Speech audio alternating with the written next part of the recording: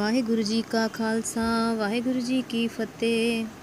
ਮਾਰੂ ਮਹੱਲਾ ਪੰਜਵਾਂ, ਵੈਦੋ ਨਵਾਈ ਭੈਣੋ ਨਾ ਪਾਈ, ਏਕੋ ਸਹਾਈ RAM ਹੈ।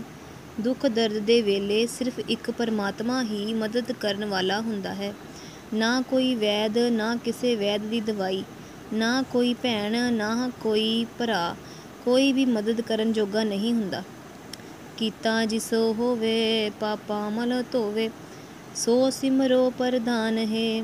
ਉਸ ਪਰਮਾਤਮਾ ਦਾ ਸਿਮਰਨ ਕਰਦੇ ਰਹੋ, ਜਿਸ ਦਾ ਕੀਤਾ ਹਰੇਕ ਕੰਮ ਜਗਤ ਵਿੱਚ ਹੋ ਰਿਹਾ ਹੈ। ਜੋ ਜੀਵਾਂ ਦੇ ਪਾਪਾਂ ਦੀ ਮੈਲ ਧੋਂਦਾ ਹੈ, ਉਹ ਪਰਮਾਤਮਾ ਹੀ ਜਗਤ ਵਿੱਚ ਸ਼੍ਰੋਮਣੀ ਹੈ।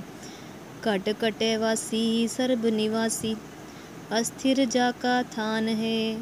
ਉਸ ਪਰਮਾਤਮਾ ਦਾ ਹੀ ਸਿਮਰਨ ਕਰੋ, ਜਿਸ ਦਾ ਆਸਣ ਸਦਾ ਅਡੋਲ ਰਹਿਣ ਵਾਲਾ ਹੈ।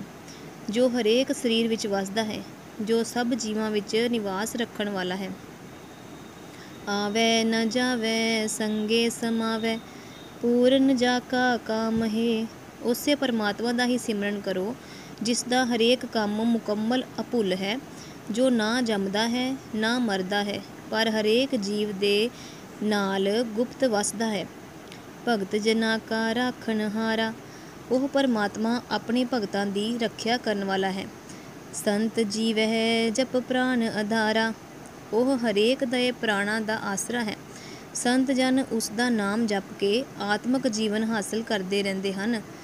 ਕਰਨ ਕਾਰਨ ਸਮਰੱਥ ਸੁਆਮੀ, ਨਾਨਕ ਤਿਸ ਕੁਰਬਾਨ ਹੈ। ਉਹ ਪ੍ਰਮਾਤਮਾ ਇਸ ਜਗਤ ਰਚਨਾ ਦਾ ਮੂਲ ਹੈ। ਸਾਰੀਆਂ ਤਾਕਤਾਂ ਦਾ ਮਾਲਕ ਹੈ।